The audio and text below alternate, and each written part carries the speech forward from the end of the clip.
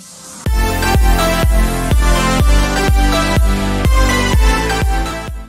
अस्सलाम वालेकुम everyone welcome back to my channel शशके तो आज मैं बनाने जा रही हूँ चिकन बिरयानी और बहुत अच्छी रेसिपी है। आप लोग इसे ज़रूर ट्राई कीजिएगा। मैं उम्मीद करती हूँ कि आप लोगों को ज़रूर पसंद आएगी। तो आज थोड़ा जल्दी में हूँ तो इसलिए इंग्रेडिएंट्स नहीं बताए हैं। डायरेक्ट मैंने एक पतीले में जो है वो चिकन का गोश्त लिया क्योंकि चिकन बिरयानी बना रहे हैं और इसमें मैंने तीन बड़ी प्याज काट के डाल दी हैं और एक चम्मच मैंने हल्दी डाल दी है और थोड़ा सा नमक शामिल किया है और दो, और टू टेबल स्पून मैंने लहसुन अदरक का पेस्ट शामिल किया है और आधा गिलास पानी डाला है और ये सब चीज़ें मैंने एक पतीले में डाल के इसको मिक्स कर दिया है अच्छे से। तो हमारा गोश्त अब यहाँ जब तक बॉयल होगा तो हम दूसरे पे दूसरे पे अपना बिरयानी का मसाला तैयार करेंगे। ये हमारा गोश्त गोश्त बॉयल हो रहा है और यहाँ पे दूसरे पे मेरी हो रही है प्याज फ्राई।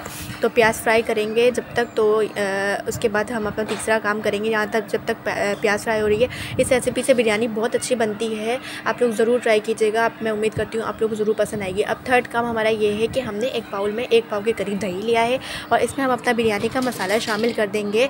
तो एक हाथ से वीडियो बन रही है और एक हाथ से मैं बिरयानी का मसाला डाल रही हूँ। तो बहुत मुश्किल हो रहा है। तो यहाँ पे जो है मैंने सारा बिरयानी का मसाला डाल दिया है, शान का बिरयानी मसाला लिया है हमने और ये यहाँ पे सारा एक पाव दही में मिला दिया है और इसे हम अच्छे से मिक्स कर लेंगे कि ये यकजान हो जाए।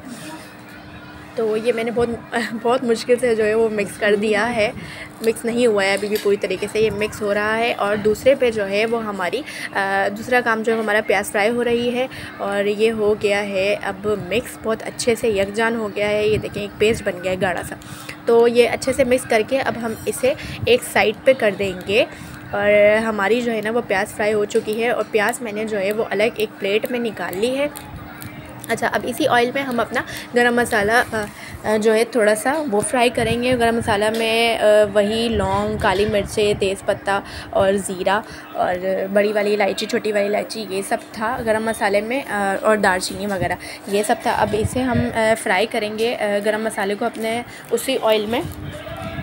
देखिए, गरम मसाला जो है ना, वो फ्राई हो रहा है और यहाँ पे गरम मसाला फ्राई हो गया। अब इसके बाद हम अपने शामिल कर देंगे टमाटर और बिरयानी जो है वो टमाटर के बगैर जो है वो अधूरी है। तो टमाटर मैंने तकरीबन पाँच से छः अदद लिए थे और वो टमाटर मैंने शामिल कर दिए हैं। और तेल बहुत गर्म था और टमाटर का पानी एकदम से गया तो छीटे आने लगी। तो ये टमाटर मैंने सारे शामिल कर दिए, इसके अंदर टमाटर को भी बहुत अच्छे से हमें भूनना है, पाँच से छः मिनट। मैंने टमाटर को बहुत अच्छे से भूना है, पाँच से छः मिनट, आराम से, तसल्ली से। और उसके बाद ये टमाटर जैसे यहाँ पे हमने भून लिए पाँच से छः मिनट तो उसके बाद हम इसे पकने के लिए रख देंगे। अब हम इसे टमाटर को भी अलग से पकने के लिए रख देंगे।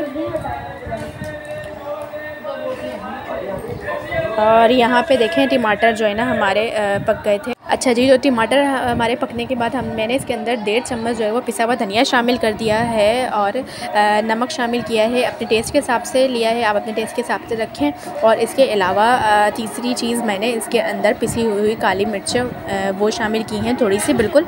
और ये तीन मसाले मैंने बस अभी फ़िलहाल शामिल किए हैं इसके अंदर और इसके बाद इस मस, इन मतलब इन तीनों मसालों को इस पेस्ट में अच्छे से मिक्स कर लिया है।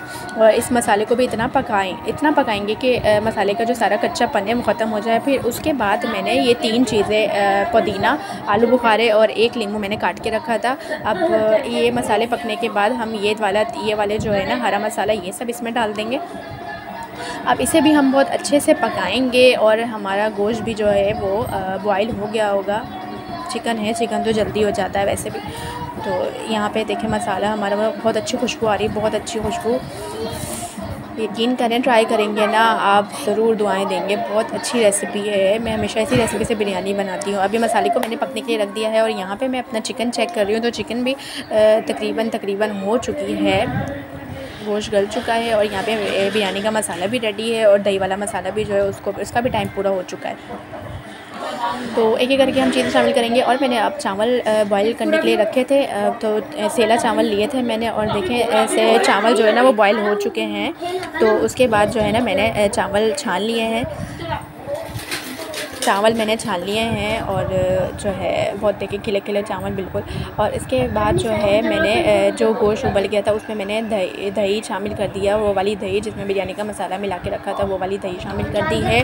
और इसको भी इतना पकाना है हमें मतलब मीडियम फ्लेम पे इतना पकाएँ कि दही का जो कच्चा बनता वो सब ख़त्म हो जाए। और इसके साथ साथ ही जो है मैंने बिरयानी का मसाला भी शामिल कर दिया है और जो प्याज फ्राई करके रखी थी, अलग प्लेट में निकाल के रखी थी, वो वाली प्याज भी शामिल कर देंगे। यानी टोटल चीज़ें हमने जितनी भी थी वो सब हमने बिरयानी गोश्त में शामिल कर दी हैं और यहाँ मैंने अलग मसाला निकाल के रखा है क्योंकि हमें चावलों की तेल लगानी है। अलग मसाला निकाल के रख लिया। अब हम आधे चावल पहले शामिल करेंगे, फिर मसाला डालेंगे आधा, फिर चावल बाकी के वो शामिल करेंगे। तो आधे चावल शामिल करने के बाद थोड़ा सा मैंने इसके ऊपर पुदीना डाला है और बाकी जो मसाला अलग निकाल के रखा था, अब वो डाल देंगे क्योंकि ये तह लग रही है बिरयानी की। वो वाला मसाला इसमें डाल दिया है और ये देखें। कलर बहुत अच्छा आ रहा है और टेस्ट भी बहुत अच्छा होगा और खुशबू तो बहुत ख़तरनाक आ रही है और बाकी के चावल थे वो भी शामिल कर दिए हैं। अच्छा जी, हमें अब फ़ूड कलर शामिल करना है और केवड़ा भी शामिल करना है खुशबू के लिए। तो हमने केवड़े में ही फ़ूड कलर जो है वो डाल दिया है। केवड़े में ही फ़ूड कलर थोड़ा डाल के और उसको मिक्स करके और उसको मिक्स करके अब हम उसको शाम, अपने चावलों में, वो चावलों में शामिल कर देंगे। और थोड़ा सा जो पुदीना था वो डाल देंगे। और ये लग, और ये हमारी लग चुकी है तय। और ये हमारा जो है ना, वो दम पे रख दिया था और दम हो चुकी है। हम हमें मिक्स कर रहे हैं। मैं हमेशा इसी रेसिपी से बिरयानी बनाती हूँ और इस रेसिपी से बिरयानी बहुत अच्छी बनती है। आप लोग ज़रूर ट्राई कीजिएगा, आप लोगों को ज़रूर पसंद आए और मेरे चैनल को कीजिएगा सब्सक्राइब मिलते हैं नेक्स्ट वीडियो में, तब तक के लिए अल्लाह हाफ़